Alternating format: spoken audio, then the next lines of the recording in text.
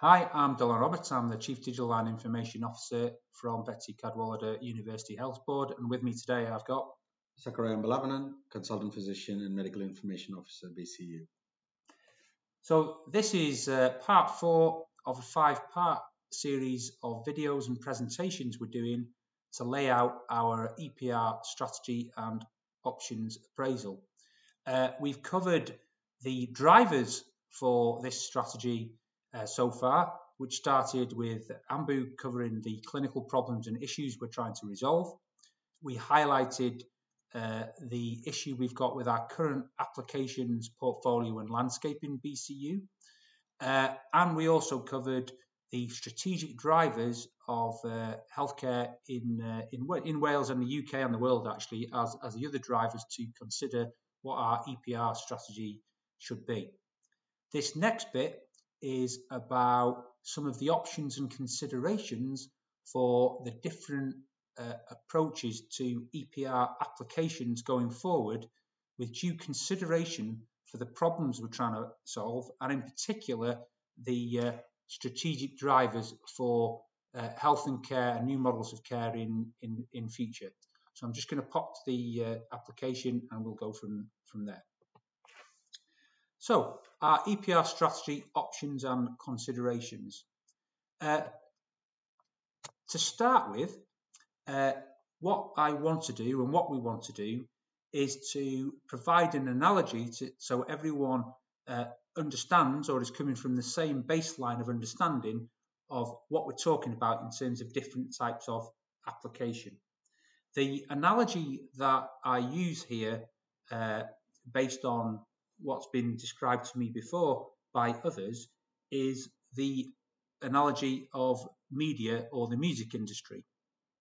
Uh, what we've got in this analogy is we can buy, if you want your music and you want to buy uh, a lovely uh, 12 inch al- album or, or record, what you get is a all or nothing situation where the recording is already pre-pressed and you have what you're given, it's laid out, and uh, that's how it's fixed forever. It's an all or nothing scenario.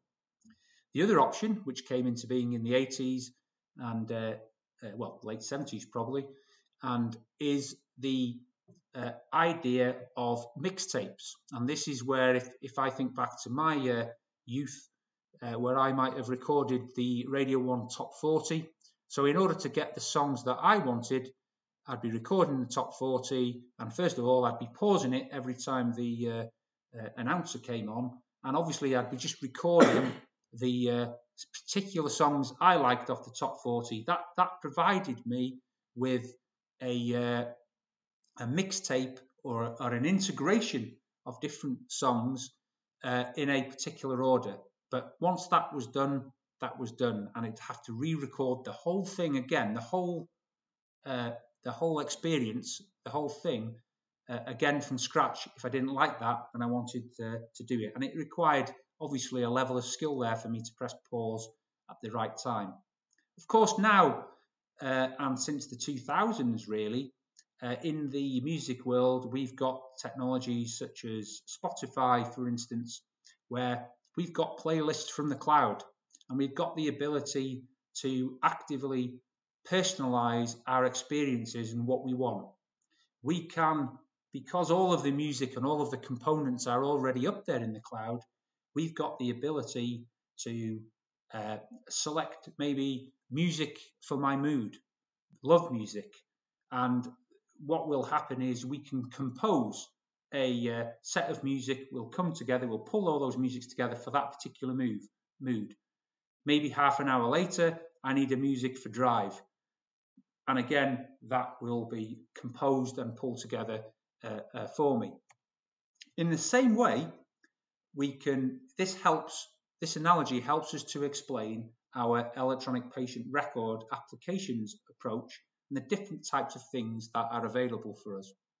People talk about monolithic applications, uh, applications which have been developed from one provider, uh, one system provider, which are often a jack of all trades, but they're, they're composite applications uh, which are integrated by the fact they're one big application. And it's an all or nothing provision from the supplier. Uh, I'm a single supplier, such as Epic uh, or Cerner or Meditech or TPP SystmOne potentially from a, a GP point of view, uh, where a particular supplier has developed an application and provides it in an all or nothing way. That's what you have, that's what you're given. In some instances, we have a scenario where people buy best of breed applications, separate applications, and in order to provide that combined view of the patient, uh, they will attempt to do similar to the mixtape. Uh, they will attempt to integrate these systems. These are lots of different data silos and different applications, which uh, are often very complicated to integrate. It requires integration brokers, it requires an understanding of data, it requires integration specialists. And of course, once you've integrated your systems, similar to the mixtape, if the world changes and the business model needs to change, you have to almost redo it all again. So it's complex uh, and costly to do that. What we've also got actually in the modern world, and this is the modern world that is, is in place across all other industries, is the concept of composable business. And that is where, through building component, a componentized approach, generally in the cloud, uh, with technologies such as web services and containerization and the like, we have the ability uh, with new technologies such as uh, digital platforms or industry clouds, we have the ability to compose uh, services by combining many components that have already been built before uh, and potentially adding those to new components so things can be reused and reused again for different purposes, which give a level of active personalization uh, similar to the uh, Spotify and uh, cloud based music industry type equivalent. Uh,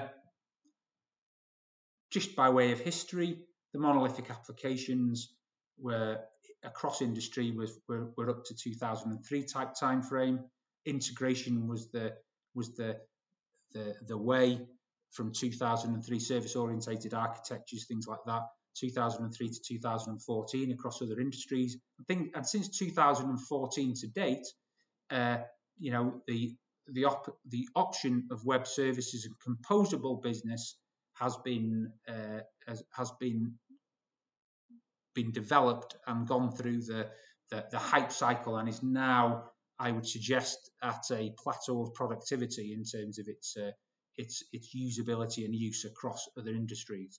However, in the healthcare world, uh, the healthcare world is slightly behind, and uh, we've still got a prevalence in some cases of monolithic applications, and we've got a prevalence in particular of application integration where composable applications and services are a bit rarer, and that could be for various reasons, not least the complexity of, uh, of healthcare. Uh, examples 95% of health EPRs today that you can buy off the shelf uh, are monolithic uh, applications. They are functionally rich. There's a benefit to them, don't get me wrong. They are functionally rich, rich but they lock you in to a particular vendor. And uh, the other thing about those as well is that they are designed around the healthcare system of the time. So their ability to adapt to individual personal needs or, or whatever is, uh, is, is, is, is limited. And there are some of the, uh, the, the, vendors there. And I, and I include primary care, I include acute and uh, social care uh, uh, systems, uh, their care director being what's behind WCCIS, for instance. Can I ask whether the sure. the monolithic applications could could they be transformed into one piece of the composable business model that you talked about? Is that within our gift technologically? Well, although operationally, I, I think you know jumping ahead, jumping ahead somewhat. Uh, hold that thought, I'd say, because uh, th- there is a way. The future of applications, uh, I would suggest, whether we like it or not, the healthcare industry will catch up with other industries mm. like automotive, like uh, uh, yeah, music or all the other industries that where there is a prevalence of composable architectures and, compo- and, and, components which are combined to deliver new services, new solutions, personalized around individual needs or, or whatever. Uh, the healthcare system will move to that, no, no, no, no doubt. And I think what I'd like to show later on is a proposal which says how we might do that. You know, how we might move from the old world to the new world whilst the old world's still running. Yeah. So it might be we decide uh, that actually the right thing to do based on where we are now is to maybe move to a monolithic application for particular, you know, for primary care, for instance. I would suggest that uh, TPP uh, is the most functionally rich and best primary care system by a mile in the in the in in the UK. Uh, appreciate Wales are on EMIS primarily, but uh, but nevertheless, you might say, well, actually, we will continue with that and look to work with TPP to integrate into the new world. You know, we can't, you can't, because of the complexity of healthcare, uh, it's not straightforward to move in one big bang to the new world. We have to take an incremental approach, which is what we're talking about. Uh, the best of breed approach, which is probably where we are in Wales to a degree, uh, is great in terms of in a best of breed scenario, of course, instead of the monoliths, which are a jack of all trades, you know, you will get a specialist endoscopy system, which the endoscopists will really love because it's been designed by the endoscopists. But nevertheless, there's still a monolith in the endoscopist world. And similarly, uh, you know, we will get maybe a really great PAS system, or we will get a, a good cancer system, radiology system, etc., etc., etc in many cases, the best of breed world, uh, you would hope a lot of those ven- vendors should be looking to migrate and develop cloud native applications in a componentized way to deliver radiology of the future and endoscopy of the future, which can be composed and combined. Uh, but although you get the benefit per specialty, what we don't get, which is the problems that we encountered in the clinical aspect, we don't get that combined which is what? Uh, workflow. We don't get that and decision support. And remember, you do get that combined workflow and decision support in the in the monolith world, but it's a jack of all trades, and, and you're locked into it, and it's based on whenever that was built. Yeah. And you and you're totally reliant on the vendor to develop that across the, the, the what is a complex system. But you can do some of this through applications integration. But I would suggest when the world changes, it's really complicated and costly to change the applications landscape and integration landscape. Uh, there, there are vendors uh, who are enabling us to get into the more composable world of the uh, future. And this is a world where, of course, uh, an ecosystem of willing application developers and providers companies can develop capabilities. So the people who should be developing new entrants to the market who are developing new cloud native based technology components uh, and solutions will clearly be uh, in this start to be in this this world. It's important when we're buying these we make sure that they do commit to being open etc that's an important consideration. Uh, the, these composable uh, architectures uh, are reliant on uh, on platforms. So actually, there are providers such as Google Health that are well, Google Google cloud-based platform, for instance, uh, is is is a platform. There there are others such as Microsoft. There are others, you know, Amazon, etc., which will be platforms on which there are tools and services you can start to develop and build these capabilities on top of these composable components. So there are the platforms there which make it far easier to get up and running in, in, in this uh, world. You have to consider as well that if we want to work, we want to move to the composable world, then the data is really important. The data is the king. Mm. So, you know, our dream, of course, is to have that combined clinical data repository or combined longitudinal patient record yeah, that needs to be. And of course, within Wales, we've got the National Data Resource approach and strategy. There's an alternative strategy in Wales as well around using openEHR and, and the like, which is slightly confusing, but nevertheless, uh, there is an intent really that if we can separate the data from the application, uh, that's when you can, which which you can't do from them in many cases in the monolith uh, uh, environment or even the, the best of breed environment. But if you can separate the data from the application and make that data open to be consumed or applications providing to it, you've got the opportunity to develop true personalization. And what I mean by that is that you could have a scenario where we were talking about a diabetes patient before, might have a diabetes pump uh, which can record every time an insulin application is made by the minute. That is recorded on the phone and potentially could feed into the combined patient record. Mm. With clinical decision support tools that we talked about before, pointing to that, which could be another application which is a, an application which has got the algorithms in it that understands the data and can make a, a you know a research based uh, conclusion from that data could provide uh, the benefit to say well actually diabetes patient you don't need to come in because over the last few months your results have been such that we don't need to come and do an observation you stay home or it could provide the patient with an, uh, an early alert to do something different. It might even give instructions on what to do, or potentially provide an alert if it's right into the future about bringing a patient in for an appointment. So, you know, the point is there in that particular example, we're talking about, you know, a specialist application for the diabetes pump, a specialist application which has got an algorithm to make a judgment from data from diabetes, which also requires likely requires other data from other aspects of the of the health record. These things can be composed around that particular use case, uh, and that from the when we talk about personalised healthcare, precision medicine, and all those things, that's the future of of of of of, uh, of healthcare. But there are, as we can see on here, there are vendors who understand that and are playing in uh, that uh, that space.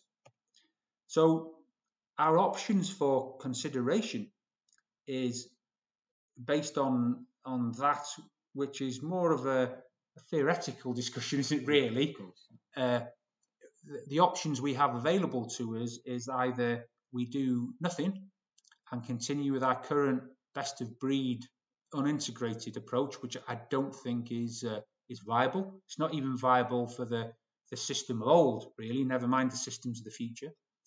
Uh, we apply and continue or continue to apply where we can a point-to-point applications integration approach. Uh, that proves very complicated and difficult, and there are real challenges with integration where you don't have uh, the full codified uh, record. We can do that. Uh, we could purchase, you know, and from a short-term perspective, a short-term as in uh, three to five-year benefit in terms of improving the current sickness system and making us more efficient. Although there's a big cost of change, we could purchase a composite electronic patient record system, such as a Cerner, uh, an Epic, or, or whatever, on the acute side of things. Uh, or, or others. I mean, there are there are lots of, of them out there which are, are capable. Uh, or we could look at partnerships to procure and build a cloud native uh, EPR component by component by reusing components again and again and do that with due regard to a digital healthcare platform partner. Uh, so it's a mixture, an ecosystem of partners to help us with that, uh, whether or not it's Google and Amazon and other partners, which is important who understand healthcare in these systems to, to, to, to to, to do that. And of course, doing that to make sure we're aligned to the future models of healthcare, not the models of healthcare of, of today or the past. And uh, the final slide here is is just a slide which is adapted from one that Gartner have done uh, some years ago, actually. Uh, and what what this basically shows is that uh, you can have a mix of uh, of of the new world and the old world, and the new world is at the top of this diagram, and that's where we look to potentially procure a digital healthcare platform and also uh, an integration layer there, which does mean, unfortunately, some of the mixtape type technologies. But what that does is, if we can pull data by whichever means from our uh, potentially monolith applications, if you wanted to buy one, or WNCR, or all separate applications into a consistent uh, data store, we can start to build the application components based on use case by use case over time, and that helps us to start move from the old world to the new world. And it, and we are going to have to recognise we're going to have to uh, have a, uh, a it's, it's, not parallel running. We're going to have to have a running together uh, while while we move to the future uh, architecture of uh, of uh, of digital healthcare. So I'm just going to pause there because that's a a point in which I think we should conclude part four.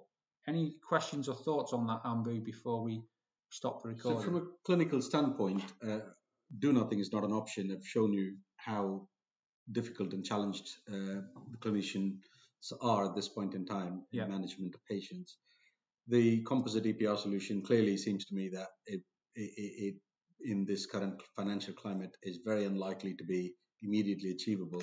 The incremental composable approach, which is more future proof, seems clearly the more attractive direction of travel.